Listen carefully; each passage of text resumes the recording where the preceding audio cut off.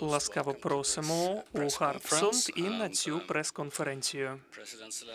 Пане президент Зеленський, дозвольте перш за все виразити свої співчуття від усього серця через жахливий російський напад на Чернігів і втрату життів.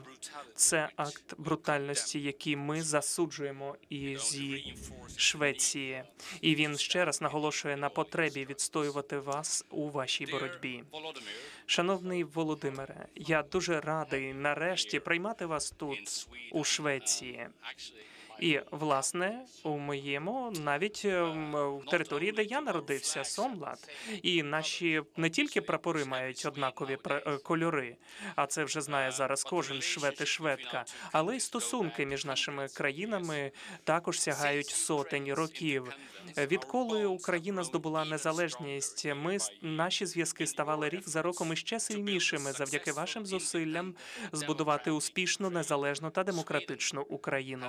Швеція намагалася підтримати вас в усіма різноманітними способами ще з 91-го року. Але після брутального повномасштабного вторгнення Росії минулого року наша співпраця стала ширшою та глибшою. Тож сьогодні багато шведів і шведських найпросунутіших збройних систем було розгорнуто для того, щоб допомогти вашій країні та вашим хоробрим солдатам захищати ваших людей. Тож дозвольте виразити найглибшу повагу до вас і до українців, до українців та українок за вашу невтомну оборону проти російської агресії. Я знаю, це сентимент, яким я який я розділяю з е, усіма шведами, і ми знаємо, що все це трапляється через надзвичайні пожертви з вашого боку. Коли я відвідував вас у якості гостя у Києві, Володимире, у мене була можливість зустрітися з представниками чиновників, студентами, солдатами і багатьма звичайними українцями. І є лише одне слово, яке може якимось чином підсумувати усіх людей, з якими я познайомився і з яких я зустрів. І це слово рішучість. Рішучість перемогти. prevent Здобути перемогу. Я переконаний, що із часом саме завдяки цій рішучості російська агресія завершиться і створиться нові початки для вільної України. Але я би хотів наголосити, що ви не самі у цій боротьбі. Наші сьогоднішні обговорення звичайно концентрувалися на тому, як Швеція, Європа та країни з усього світу відстоюють е, вас і можуть підтримати вас якомога краще. Як вам відомо, з лютого минулого року Швеція забезпечила Україну 2,2 мільярди євро двосторонньої підтримки, і ми продовжуватимемо надавати політичну, військову, гуманітарну та фінансову підтримку у тісній співпраці та діалозі з вами, нашими спільними партнерами, щоб переконати, що потреби України повністю задоволені стільки, скільки потрібно. На початку цього тижня мій уряд оголосив military 13 support військовий пакет підтримки Україні. І цього разу ми концентруємося на е, ремонті та підтримці спроможностей, які ми вже забезпечили. Це CV-90, танки Леопард, а також артилерійські системи. Ну і звичайно запасні частини та боєприпаси. Також цей об'єм включає в себе складову розмінування. Ми вже ініціювали роботу над іншим довготривалим проєктом військової підтримки України. У цьому відношенні я тепло вітаю сьогодні е, наш намір е, твердження, що ми ж тут підписали буквально кілька хвилин тому у Гарпсунді. Це знак нашого спільного бажання Швеції та України посилити співпрацю е, щодо забезпечення е, виробництва, а також навчання на CV-90. І дозвольте чітко зазначити, е, у цій міжнародній політиці немає важливішого завдання для мого уряду як підтримка України у її боротьбі за свободу та територіальну цілісність. Україна бореться за нас, за всі європейські демократії. І нарешті. Минулого місяця. Шведський уряд прийняв нову п'ятирічну стратегію, яка виділяє 520 мільйонів євро на підтримку реформу та відбудову України. І це власне шведський найбільш цілісний двосторонній стратегічний проєкт. Ніколи раніше у нас не було настільки потужної концентрації на підтримці однієї єдиної країни. Наша загальна е, наріжна мета цієї стратегії підтримати інтеграцію України у ЄС. Це моє дійсно переконання, що Україна також належить європейській родині. Тож, пане президент, мені надзвичайно приємно надати вам копію цієї стратегії українською мовою. Це вам, пане Володимире. Дякую, що нас відвідали. Дякую вам.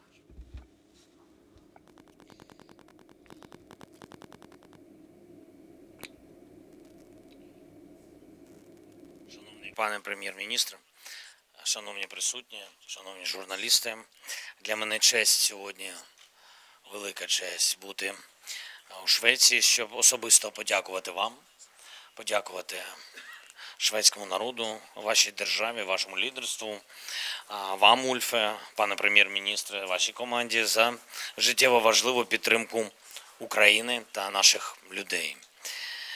Але перш ніж я говоритиму про сьогоднішню нашу зустріч, я хочу сказати кілька слів про наше місто Чернігів, світле українське місто. І цього ранку Росія завдала ракетного удару по Чернігову, просто по центральній площі міста, там, де розташовані звичайні будинки, там, де є міський театр. Е, В міському театрі було дуже багато людей, на вулиці було багато людей. Більше 90, бі- більше 90 людей поранено, і серед них двін- 12 дітей. Вони просто гуляли на площі зі своїми батьками.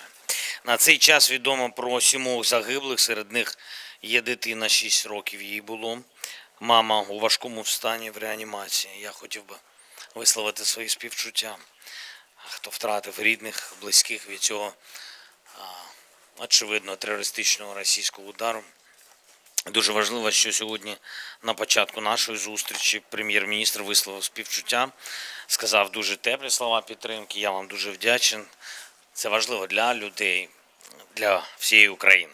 І це єднає нас, і ми дійсно цінуємо життя. Дякую ще раз. Ми маємо справу із такими підлими російськими терористичними ударами. Маємо справу, на жаль, в щоденному режимі щодня, поки триває ця злочинна агресія, єдиний спосіб її припинити, вигнати російських окупантів з нашої землі, фізично перемогти їх на полі бою і нічого іншого. А в Кремлі, на жаль, ще раз кажу, на жаль, нічого іншого вони не розуміють. І тому зараз для мене дуже важливо висловити вам вдячність від всіх наших воїнів саме за таку підтримку весь цей час такої важливої для нас всіх боротьби. За підтримку в боротьбі за свободу, безпеку для людей, для кожного українського міста, села. І як ви тільки що сказали, дуже дякую, що ми боремось не тільки за свої сім'ї, за сім'ї всіх людей, у кого такі спільні цінності, нормальні, життєві, людські. На початку цього тижня я відвідав бойові бригади, серед інших 57-му окрему мотопіхотну бригаду імені кошового атамана Костя Гордієнка. А, Кость Гордієнка це, до речі, один із тих історичних діячів, чиє життя стало поєднанням нашої з вами історії, історії України і Швеції. Дуже символічно, що саме в бригаді імені Гордієнка використовують зараз саме вашу техніку, е, шведські CV-90 бойові машини піхот. І реально дуже, дуже сильні машини.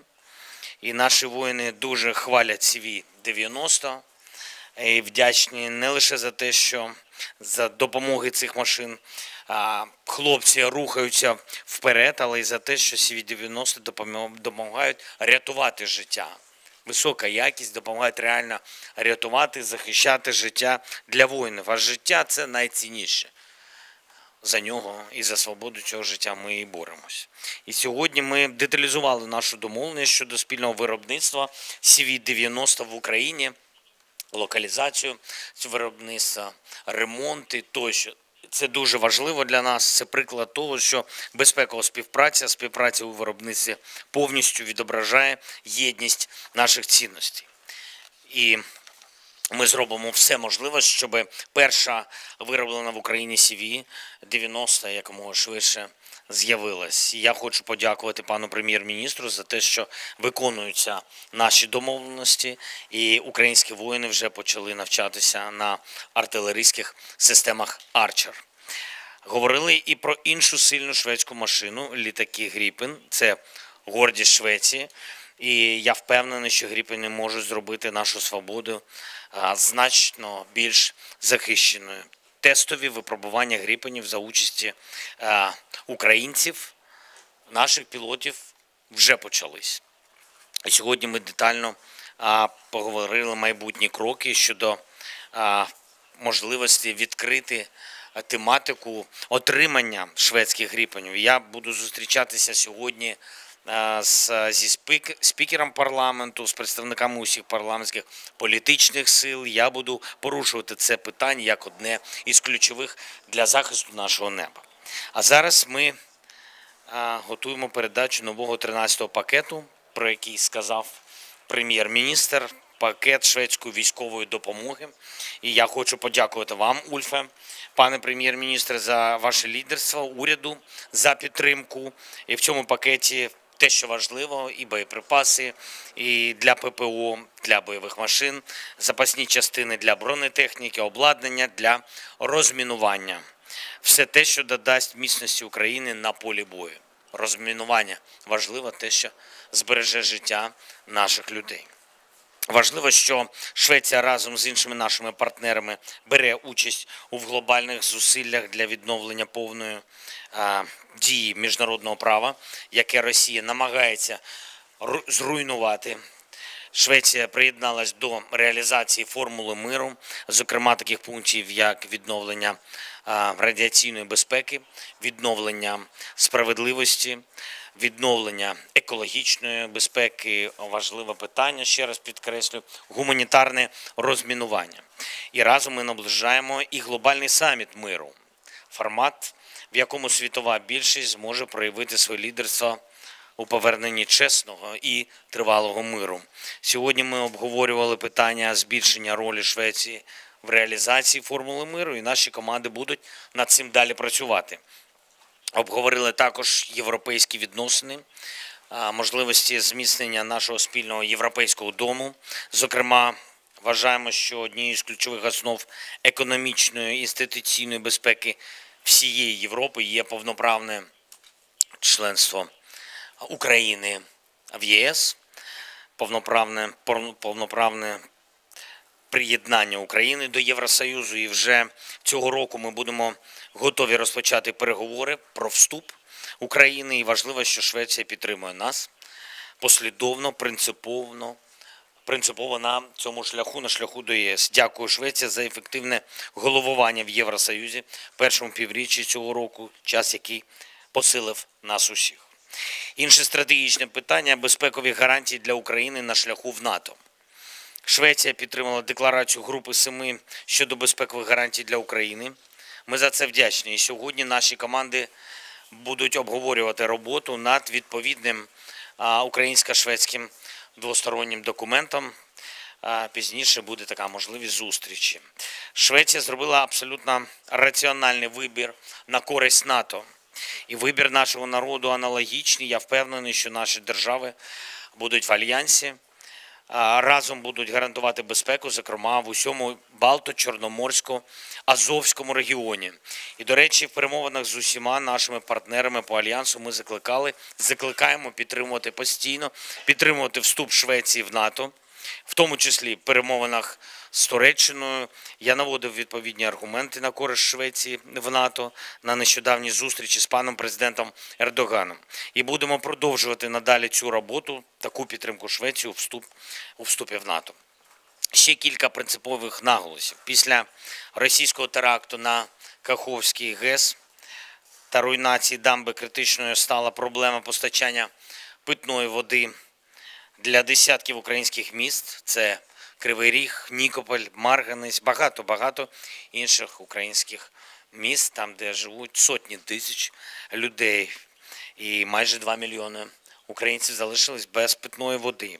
І тому Україна потребує високотехнологічного насосного обладнання, яке виготовляється, до речі, на заводі в Швеції. Сьогодні ми обговорили, як прискорити постачання такого обладнання. Я вдячний, що уряд готовий нам допомагати е, в цій, в цій роботі. Ми цінуємо нещодавне ухвалення урядом Швеції кількарічної стратегіч, стратегії щодо співробітництва у сфері відбудови, яку тільки що презентував прем'єр-міністр. Мені передав е, стратегія відбудови е, в сфері відбудови реформ в Україні. Сьогодні ми обговорили цю стратегію. Важливо, що вона передбачає залучення приватного капіталу у відбудову. Саме такі тривалі програми підтримки є дійсно потужним, сильним сигналом, що ми не дамо російській агресії долати наше прагнення жити. Швеція буде з нами у повоєнній трансформації. Я дякую за це. Ми також обговорили можливість патронату вашої держави та ваших регіонів та кампаній над українськими регіонами, галузями, які потребують відновлення після російських ударів. І так само ми цінуємо вашу підтримку, яку наші люди відчувають тут, переселенці усі, чий дім в Україні зруйновано цією трагедією, цією, цією війною, але ті, хто завдяки Швеції не відчуває себе бездомним. Я хочу окремо зараз подякувати кожному шведському місту, кожній шведській родині, усім вашим людям, які прихистили українських, українські сім'ї, дітей, літніх людей, всіх, хто кому була потрібна ваша допомога. Дякую за, за те, що у нас є можливість сьогодні поспілкуватись. Дякую за цей візит і нам всім перемоги в цій війні. Слава Україні! Дуже дякую, пане Володимире. uh, І тепер треба наголосити на тому факті, що наші дві команди дійсно дуже добре співпрацюють, як обов'язкова передумова. А зараз послухаємо запитання. Отже, розпочнемо з запитань коротко, коротко англійською по одному запитанню. Будь ласка.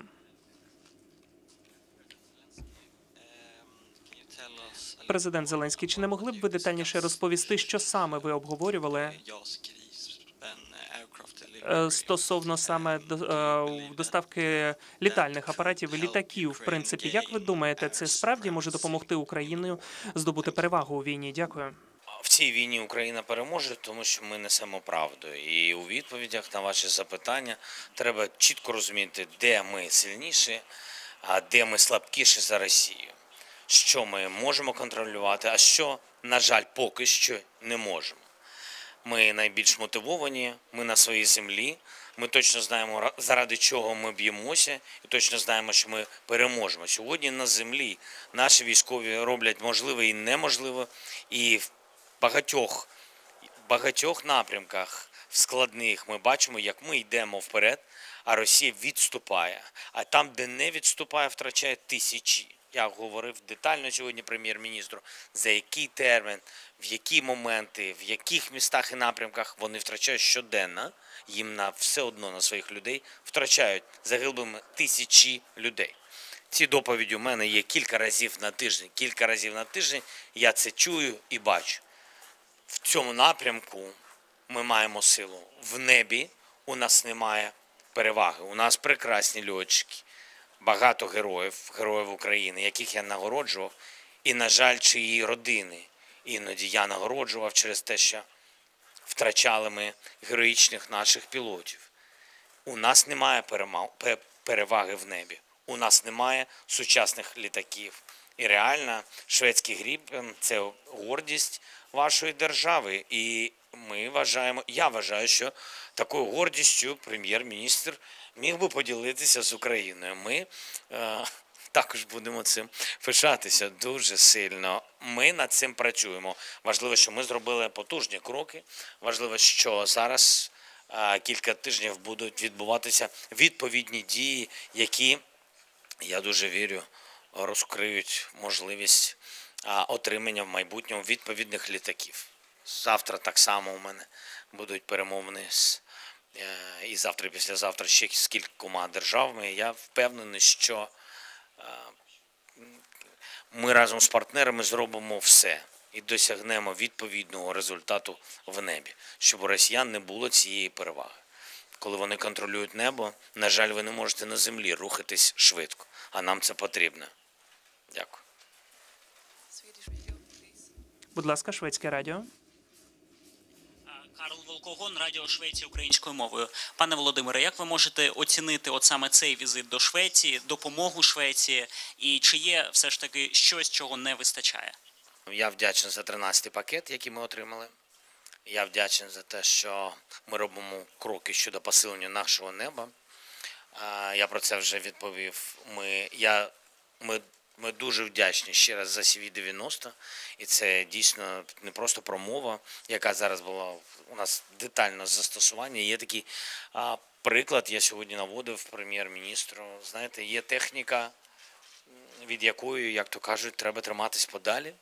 Тому що якщо вибухне через удар Росії, то всі загинуть. А є техніка, в якій спасаються від ударів і зберігає життя. CV-90 одна з такої техніки. І це дійсно правда. Ми, ми реально хочемо, нам потрібно більше. Ми говорили про додаткові CV-90, і, а вже ж все одно е, не може бути нескінченним та чи інша допомога. Тому я дуже вдячний сьогоднішньому важливому, важливому кроку вперед щодо локалізації виробництва CV-90 на території України. Це реальний крок вперед.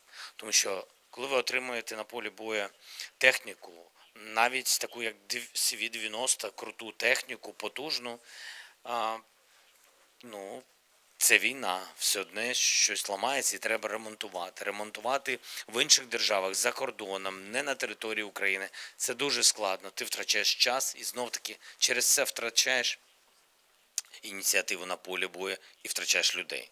Найголовніше. Тому сьогоднішній крок це потужний крок вперед. Нам треба тільки, щоб тепер наші команди, тепер наші військові дуже потужно попрацювали. Тому що на рівні лідерів ми зробили важливий крок. Тепер треба на технічному рівні дуже швидко це зробити. Дякую.